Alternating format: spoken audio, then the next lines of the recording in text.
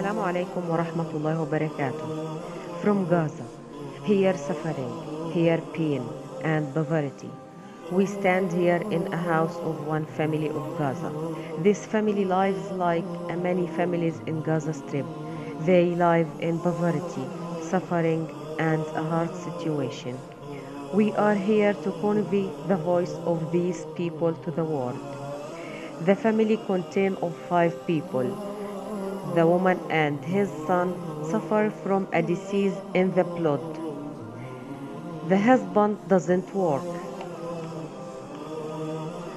The house is not viable.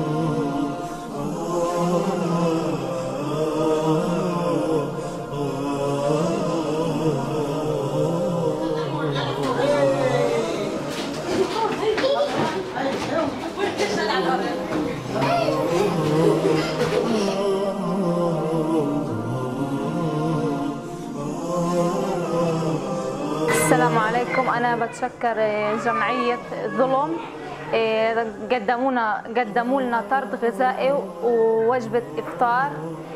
أنا بطلب إنه من أهل الخير حدا يساعدني بيتي إني أ- أبني فيه. الله يبارك فيكم الله يجزيكم كل خير إن شاء الله يا رب.